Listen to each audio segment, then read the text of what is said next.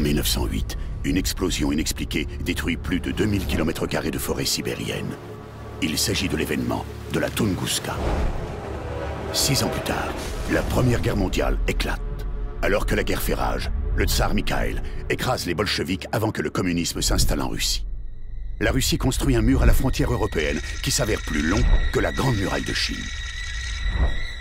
La construction de la plus grande base militaire américaine débute en Alaska. Le sénateur isolationniste Noah Grace bat Roosevelt aux élections. En 1947, un réfugié russe transportant un crâne génétiquement modifié meurt alors qu'il se rend en Grande-Bretagne.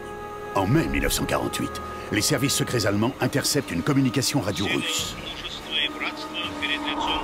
Traversant le mur russe, les chimères envahissent l'Europe et leur virus infecte des populations entières.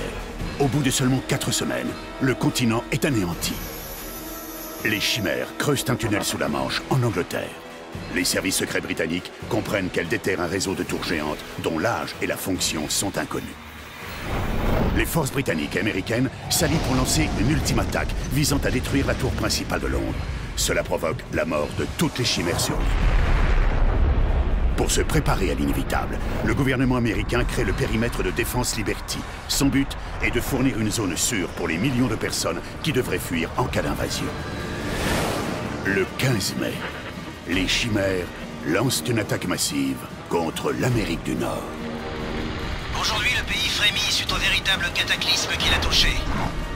Dévasté par la guerre face à un ennemi plus terrifiant et redoutable que tous ceux rencontrés auparavant. Cette lutte menée pour la survie de l'humanité. Cette lutte, mesdames et messieurs, est peut-être perdue à tout jamais.